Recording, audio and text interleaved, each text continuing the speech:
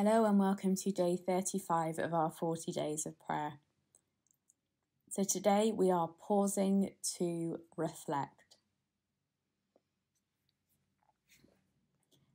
This week we have heard a lot about how the gospel and Jesus' teachings are for everyone. We have seen through these pieces of scripture this week that the apostles carried that message far and wide, preaching to all who would listen.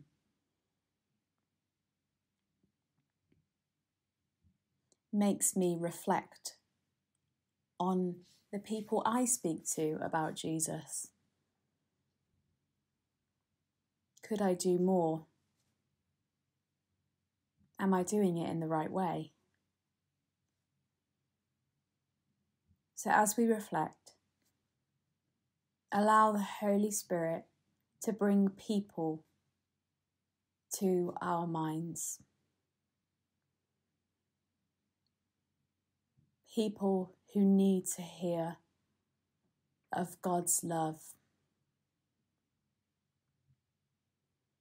People who need to feel compassion.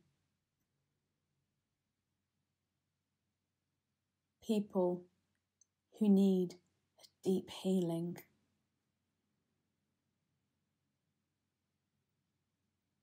Lord, we pray as those people come to the forefront of our mind by your Holy Spirit that you would equip us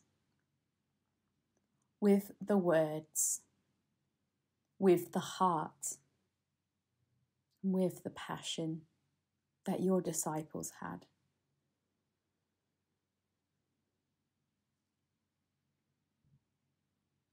Speak, Lord, for your servant is listening.